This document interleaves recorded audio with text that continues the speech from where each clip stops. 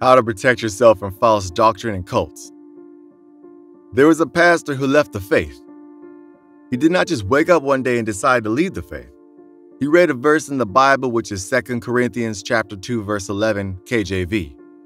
Lest Satan should get an advantage of us, for we are not ignorant of his devices. He wanted to know how Satan works so that Satan will not take advantage of him.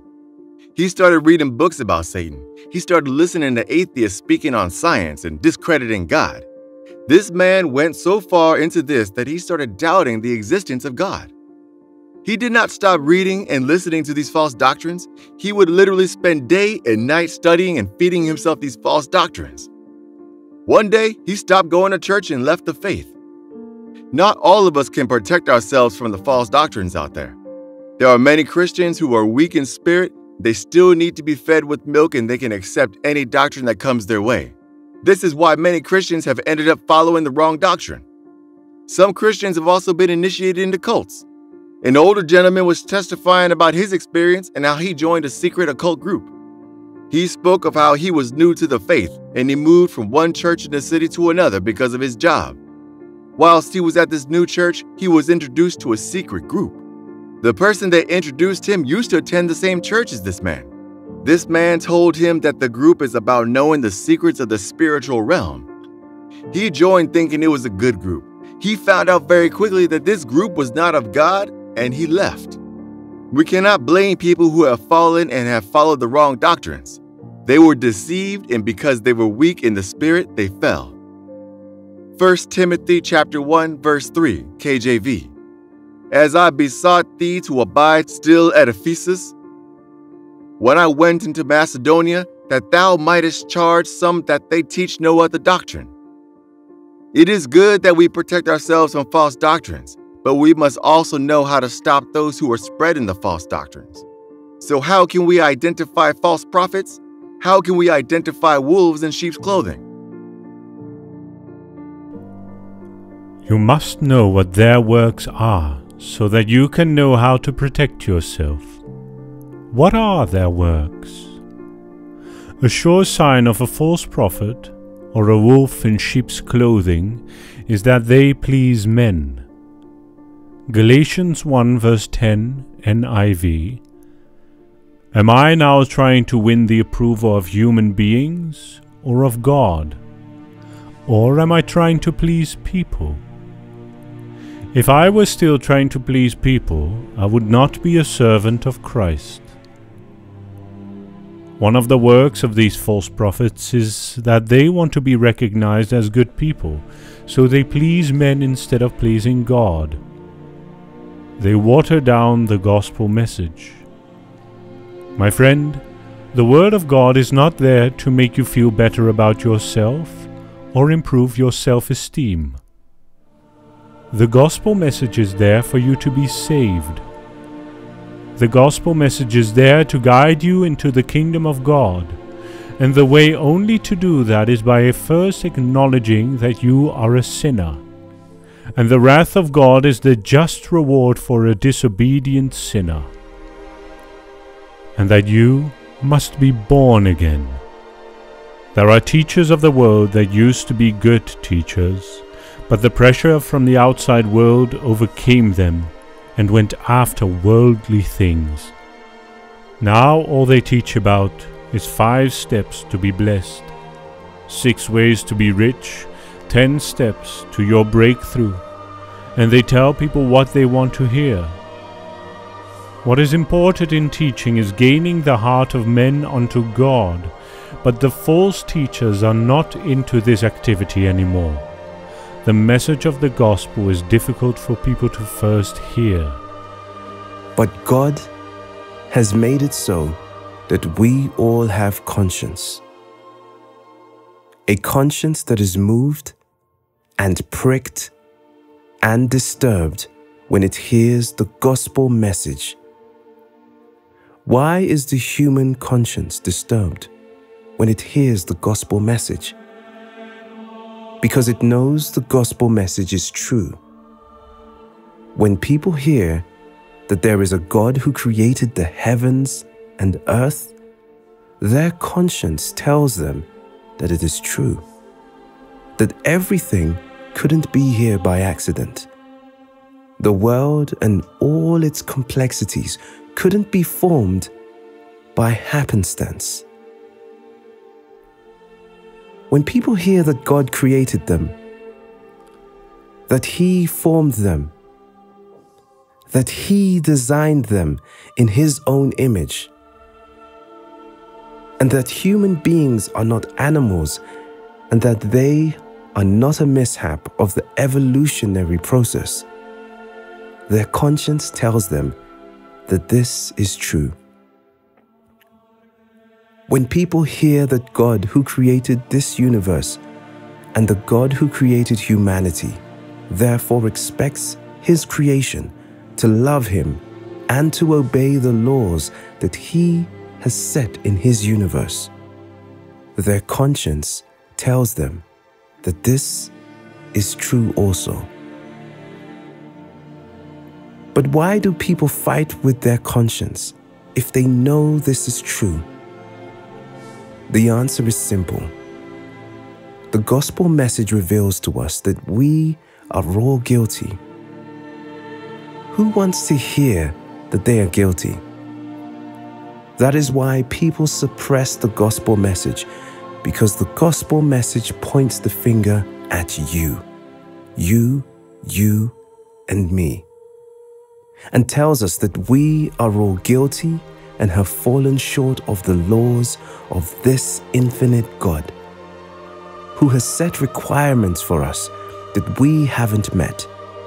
And their conscience tells them that all of this is true and that God requires we love one another because all humans are made in the image of God and are therefore special in the eyes of God. When people hear that God requires we love Him with all our heart, with all our soul, and with all our mind, and that the proof of this love is seen. John chapter 14, verse 15 If you love me, keep my commandments. But people do not like what their conscience is telling them because they know they have not kept his commandments. They know they haven't kept his laws and they are guilty.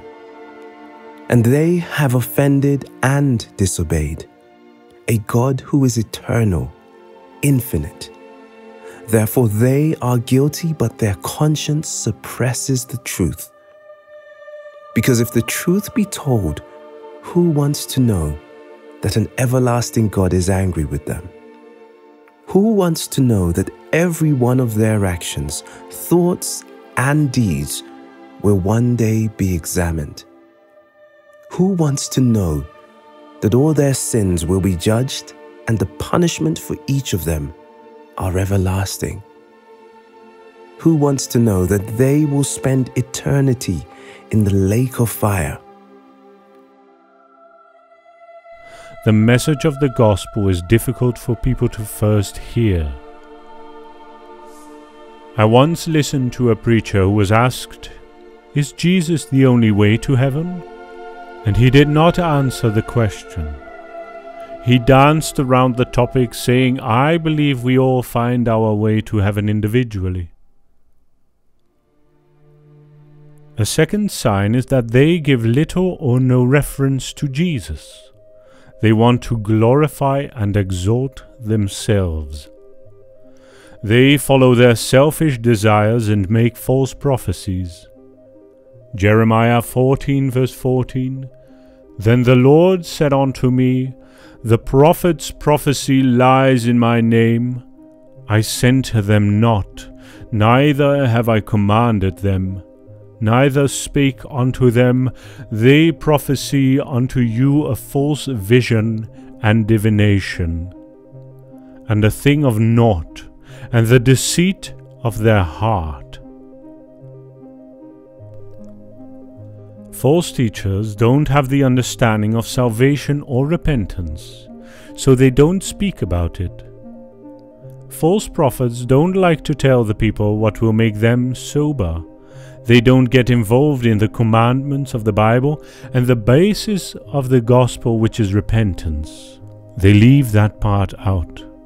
They are more concerned with a seeker friendly gospel. The gospel says, Come and live in sin. Following the laws of God is outdated. The gospel is for all men and women, regardless of the sins the person struggles with, but the gospel does not encourage you to stay and live in sin. But the basis of the gospel is to repent and turn away from sin. They are good at masquerading themselves. We have read in the Bible about the wolves in the sheepskin, and the wolves are always about shedding blood. They are not easily seen and they can be mistaken for the real sheep. The false prophet hides under the disguise of being part of the body of Christ, but they are not. As Satan disguises himself as the angel of light, so also these false teachers are good at appearing as teachers of truth, and the real teachers to be obeyed and followed. They are out there looking for who to prey in, and when they find one, they fill such with false doctrines. 2 Corinthians 11, verse 13. They chase clout instead of holiness. The false teacher is self important and always wants to be known everywhere. They get involved in politics or public offices not because they intend good, but because they want power and to become influential in every way. They find all the methods or ways of gaining followers to themselves instead of populating the kingdom of God with souls. They seek power and fame instead of seeking holiness and the power of God. 2 Peter 2 verse 1 and 2 but there were false prophets also among the people, even as there shall be false teachers among you, who privily shall bring in damnable heresies, even denying the Lord that bought them, and bring upon themselves swift destruction. And many will follow their destructive ways, because of whom the way of truth will be blasphemed. We see in this verse Peter revealing that the false teachers will rise up from within the community of Christians. These deceivers will use deception in an attempt to convince believers to deny Jesus as Lord and Master.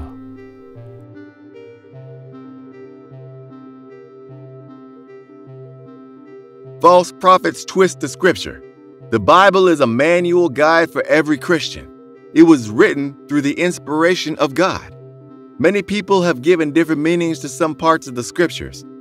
Some people translate or give the exegesis to the Bible. The false teachers twist them to match what they want or what they want the people to do. In this way, many people are involved in this. This is why we must have a better understanding of the scriptures so that we will be able to hold on to that which is true. 2 Corinthians chapter 2 verse 11. 1 Thessalonians chapter 5 verse 21. They give false teachings on sin. Sometimes they see people sin and they don't rebuke them. They are not against sinning. In order not to lose followers, they withhold the truth about sin from them, and they talk more in grace in a way that is not. They give a different meaning to grace. There is one thing we need to use to shield ourselves from these false doctrines and cults. That is the Word of God. We have been given this word by God to use. The word is full of truths. Everything we need to know, the truth has been written there. Get to know the Bible for yourself. That is a sure way to never be led astray. Know your Bible for yourself. Study the scriptures. If anyone says otherwise, you will know it is from the devil, and they are those who preach false doctrines. After Paul had warned about false teachers, not only Paul, Many other apostles and Jesus himself had warned about the false teachers coming out of Christianity to go against the ideal doctrines of Christianity. One should have been ready to face them and find a means of avoiding them. If one places too much attention on the hearing part rather than finding a way to get rid of them, then such will become a victim. There is an importance in knowing the truth ourselves. Digging deep to know more about Jesus will help us save us from the wolves pretending to be sheep. It is not a bad thing to search for spiritual meanings or knowledge of the scriptures, but one has to be mindful of where he is searching it from. It becomes a problem if a false teacher becomes the source of one's knowledge.